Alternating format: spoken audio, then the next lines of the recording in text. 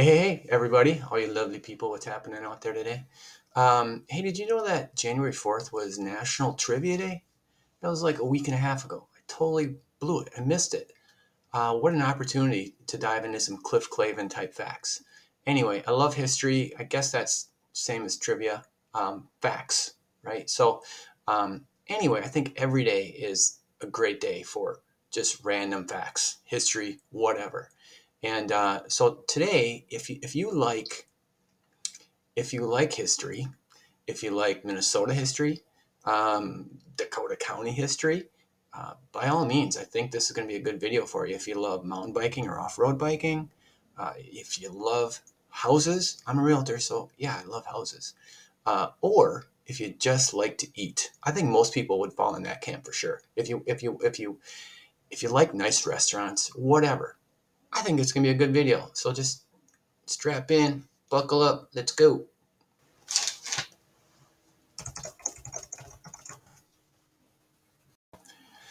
Did you know there's a town called Mendota?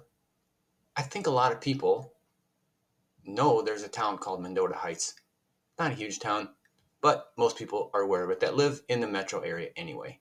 Um, but yeah, there's a town called Mendota, which was there before Mendota Heights. In fact, it was established in 1812. It was more of a fur trading village at the time.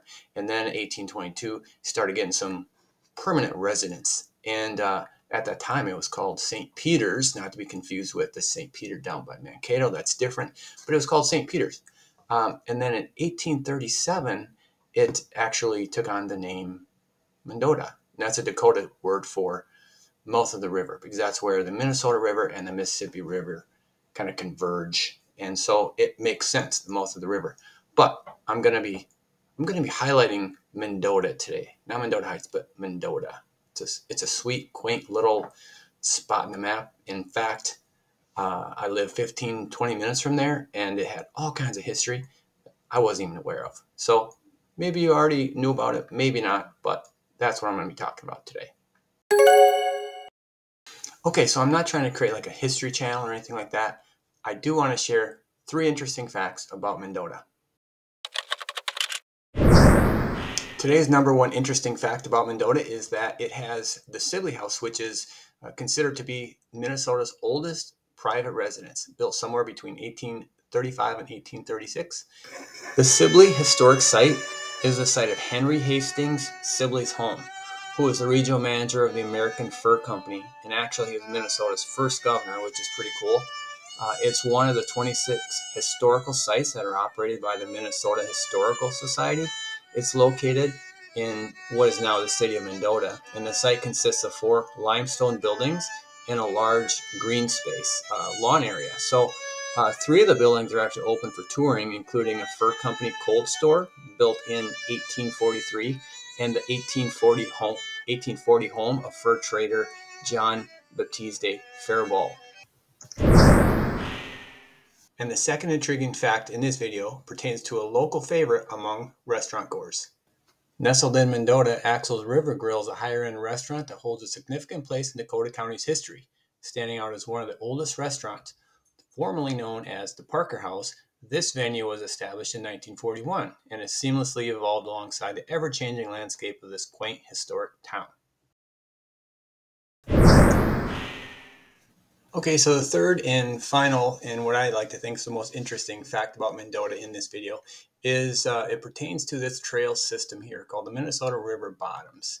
And uh, you can jump on in Mendota. In fact, uh, going back to what I said earlier, you can see where the Mississippi River connects with the Minnesota. I'll just back out a little bit. So this is the Minnesota River, and it actually turns and, and flows north, and it connects with uh, the Mississippi, which is flowing south, and and right here Mendota is where they connect. Again, the mouth of the the mouth of the river. Um, so if you were to look at the town of Mendota itself, yeah, right here is where the Axel's restaurant is, and uh, a little bonus information here, a little bonus fact is right up in this area on the on the um, high side of town, you have the oldest church in Minnesota I it's a Catholic church and I'm spacing, you know, it's St. Peter's Catholic Church. Yeah, it's right here. That's the oldest church in Minnesota. But this trail system starts right here down by the Sibley House. In fact, if you kind of look at these photos here, that's the Sibley House. And then this is a tunnel that will um, take you. So on the other side of this tunnel is the Sibley House. You ride through here, and that's where the trail begins, right in this little area. And so anyway, let me show you kind of where it goes. I'll back out a little bit more. You can take it south, uh, southwest, right? And so it'll go under the 494 bridge over to Cedar 77. There's another parking lot there. You can jump on that. It's a pretty common spot to start. And then you can take it over to 35W and then continue on over to uh, Bloomington Ferry Bridge, which is right by 169. So that'll give you a little snippet on where that trail system is. Super popular in uh, the winter and in uh, the, the, summer a little bit gets a little bit overgrown, but fall and winter I think is the most popular time.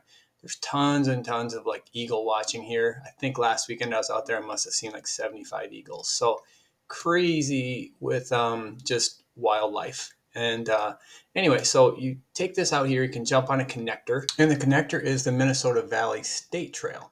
And that really kind of begins right where the Minnesota River Bottoms Trail left off, right around that Bloomington Ferry Bridge. There's a parking lot there if you want to start there. Um, it's a little bit hit and miss. You have to kind of do your homework. Um, I think there's a few gaps here and there.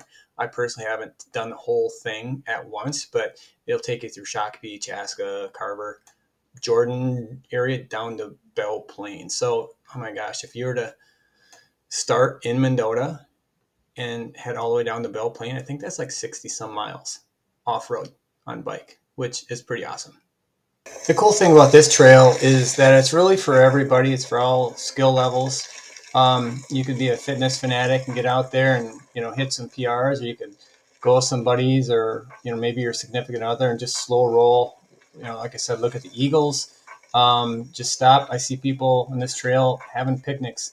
Um, you see walkers out there, a lot of bikers, but um, just everything. There's uh, bird watchers, tons of that happening out there overall, it's just a great um, asset to the community.